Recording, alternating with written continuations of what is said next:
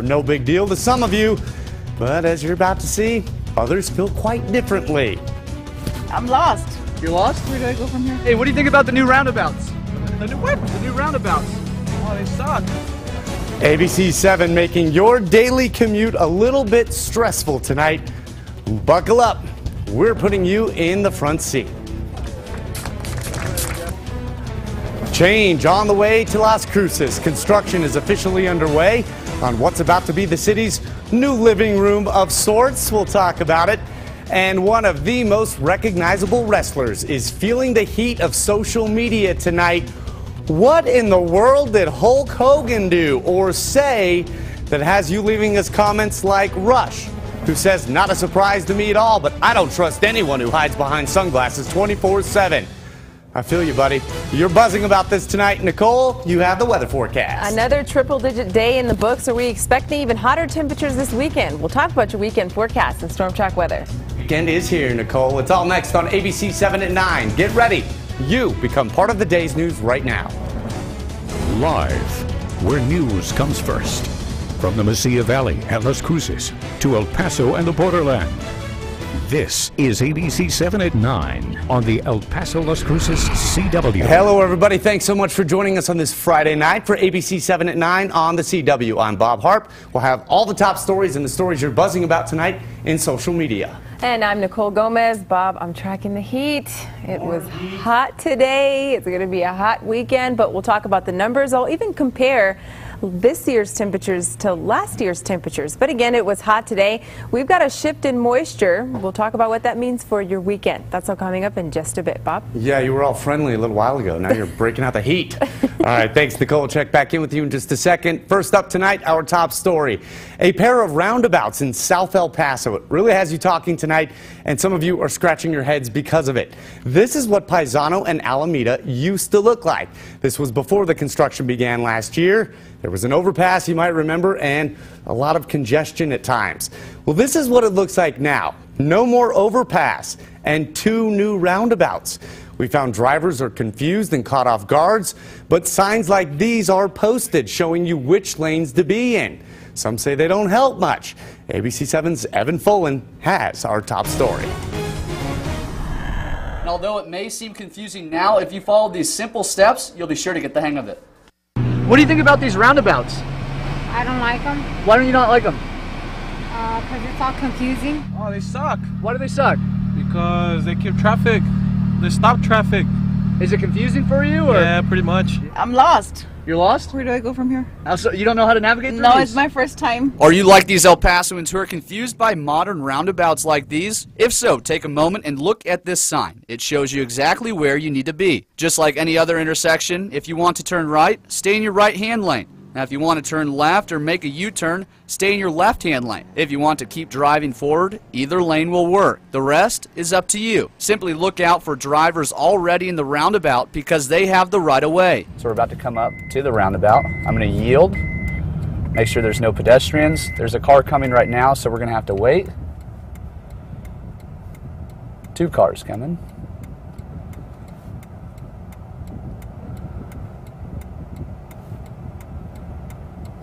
Okay.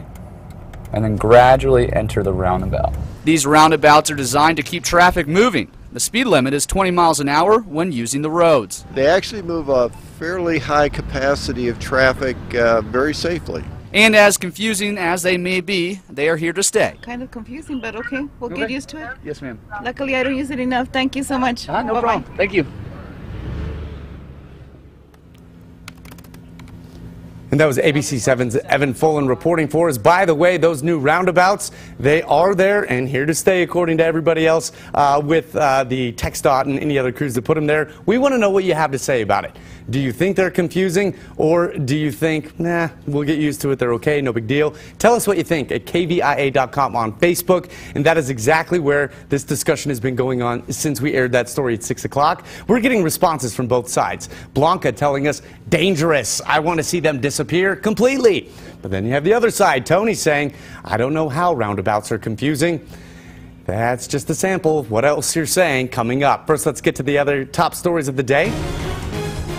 From our New Mexico Mobile Newsroom tonight, it's full steam ahead on the new downtown plaza in Las Cruces. The shovels hit the ground today on the $5 million project at Griggs and Main Street.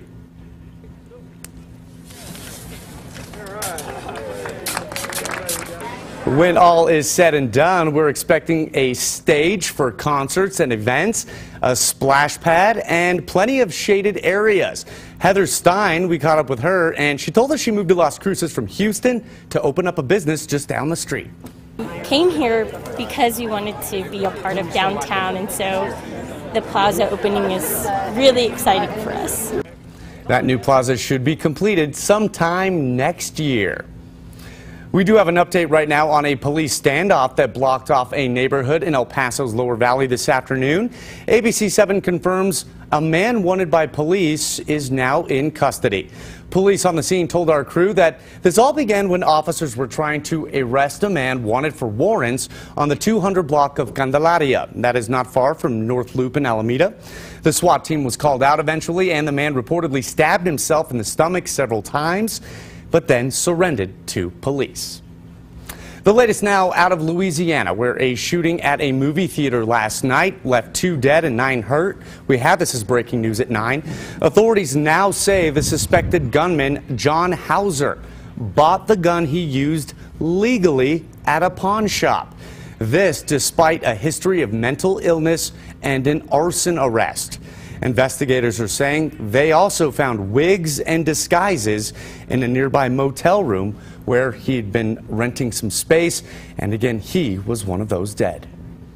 El Paso Water Utilities saying it wants to secure water for future El Pasoans, so it's using a $50 million loan from the Texas Water Development Board to buy 26,000 acres of land out by Dell City. That's to the east of El Paso.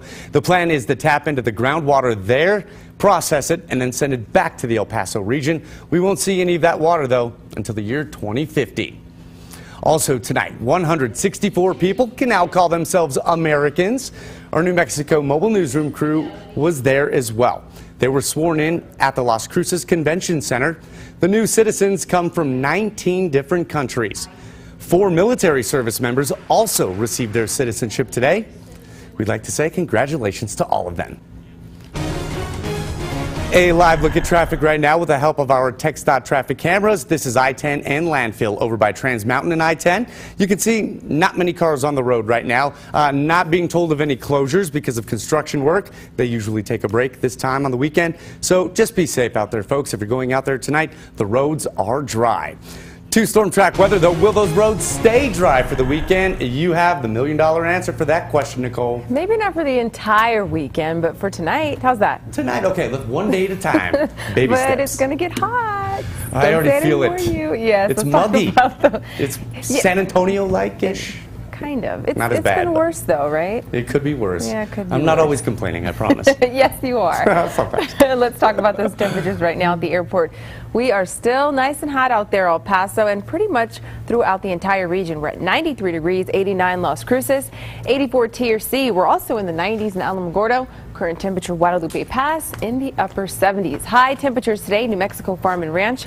103, 102 at North Star Elementary School. Loma Terrace also hit a high of 101 and 98 at Mountain View High School. Now, notice on Doppler radar, we're going to take those rain chances out of the forecast for tonight for El Paso and Las Cruces. As you can see, we're not tracking any rain in the forecast, but we are seeing some showers along the higher elevations. We'll take a look at our future track model through 11 o'clock, where you can see we're still not tracking very much activity, but we'll take a closer look at what you can, can expect coming up in just a bit. We'll also talk about those high temperatures today and the hot weekend that we're expecting to have. We'll talk about those details in just a bit. Bob? All right, Nichole, thanks so much for that. And of course, you at home watching right now, you can connect with us by using the name CU on the CW on Facebook, Twitter, and even Instagram if you'd like to share some photos with us. Of course, the discussions are also underway at kvia.com on Facebook. Hey, if you have been in El Paso a while, you may hate me for getting a jingle in your head that will probably stay there all weekend, but I'm sure you remember it. Walk El walk. Just 20 minutes a day, three times a week. Who could forget this campaign, Nichole? to get El Pasoans off the couch and out onto the streets to exercise. The Paso del Norte Health Foundation was behind this ad and others. All aimed at bettering our lives here in the borderlands. So you might be saying, Bob, why are you getting that jingle stuck in my head? Well, because one woman in particular who was the driving force behind those catchy ads, like Walk El Paso Walk and the push to get El Pasoans to stop smoking, Myrna Deckert is her name, and ABC7 confirmed she's retiring. She tells us that she is thrilled to have served and to help a community like ours. It's the largest uh, foundation, private foundation on the entire U.S. Mexican border. That gives us a tremendous amount of responsibility to, to do things right. Well, thank you so much, Myrna, for all your hard work. She also says that she's doing well after having lung transplant surgery. That was about a year ago. And now she wants to spend some more time with her children and her grandchildren. Best of luck to you, Myrna. Eastwood Heights Elementary closed out its literacy camp with a fiesta. UTEP tutors worked with students one on one to help make reading fun this summer and improve critical thinking skills. You're about to see two really smart kids right now on the CW. Check them out. We read, we did some games including vocabulary words, we did some ice station, we did many different things. Once I start a book, I keep reading it until I finish it, and I just get another one, and another one, and another one. Until I get tired of reading it, I continue the next day. And this goes on and on again. That is a smart little girl. The camp now is in its sixth year. Well, speaking of reading, a lot of you think a classic is Gone with the Wind, right? Well, coming up tonight at 10, Gone with the Wind is one of the many flicks that you can actually catch at this year's Plaza Classic Film Festival. For some of the movie, or for some, I should say, that movie invokes nostalgia for the Confederacy. Tonight, we are taking a look at how different life was in El Paso back in the 1940s when the movie was a hit. So, speaking of that, you know, racial controversy because of the Confederacy flag in South Carolina this summer. Well, now Hulk Hogan, he is on damage control for some racist comments that he made eight years ago. Today, he was fired by the WWE. The racial slurs were made in a conversation caught, of all places, on a sex tape. The tape is the subject of an invasion privacy lawsuit and filed by Hogan, by the way. The 61 year old apologized for the comments in which he reportedly used the N word when talking about a man he believed was dating his daughter at the time. A Hogan fan we spoke with says he feels let down by his childhood hero. It, it, it is a big deal for WWE to you know maintain face, and they they did what they had to do. And unfortunately for Hulk Hogan, even though it was eight years ago, that's just something you you can't do. As you can imagine, Nicole, this one has social media blowing up tonight. Laura says, I don't care how much either way, except for the hypocrisy of the WWE. Racist, sexist, and stereotypical char characters all over that mess. And Fernando says, I find it hard to believe an NFL player punches and knocks out a woman and no one takes actions for several months. This man uses the N word and he gets fired. WWE, you did the right thing. Now, Cesar is saying, why couldn't he stick to the, brother, uh, the word that he knows best? Brother. I had to say it like that. Michael saying, and just like that, WWE pretty much cares very little of the legacy left behind. Rush, not a surprise to me at all. But I don't trust anyone who hides behind sunglasses 24 7. I gotta say, I don't like anybody who wears glasses all the time either, Nichole. I just gotta get that Maybe out his there. His eyes are sensitive to the light. Okay, well, that's, an ex- that's a reason. Okay. That's an excuse. Let's get to Sandra's comment. What's the big deal? Everybody says the N word these days. Kids, teens, grandmas, tias, etc. etc. Uh, no. And finally, from Victoria, political correctness will destroy the United States. Now, this one, of course, the most talked about story on our Facebook page tonight. If you haven't joined that discussion, please feel free to do so right now. And Nichole, back to our top story what folks at home are saying about those roundabouts. Now, we do have a lot to get to. So, first of all, if you are just joining us, this is what Paisano and Alameda used to look like. And then we have another shot of the intersection now that the construction on those roundabouts is completed. Well, drivers told us today they are confused and these signs aren't them much. So naturally, it sparked that discussion. And let's get to some of your comments right now. Like Sergio saying, El Pasoans can barely drive, let alone follow signs. Roundabouts are too sophisticated for El Pasoans. Everett, if El Paso drivers are too dumb to figure out how a traffic circle works, they deserve to the scorn that is heaped on them. Edgar, they are common sense. Estefania is saying, I don't think that signage is confusing, but those roundabouts aren't helpful. People don't respect signage. Okay, you can join that one on our Facebook page as well. Nichole, coming up in just a little bit, you're going to be telling us what a, a pop is. Now, I'm not talking about popping and locking like the kids do. You're talking Or weather soda popping. I'll let we you take are it away. going to talk about the POP, which has been taken out of the forecast for tonight. But what about the rest of the weekend? Details in Storm Track Weather. Quit popping and locking. I just wanted to see how many times I could say that. This is ABC 7 to 9 on the CW. You don't just watch the news, you are the news. We'll be right back.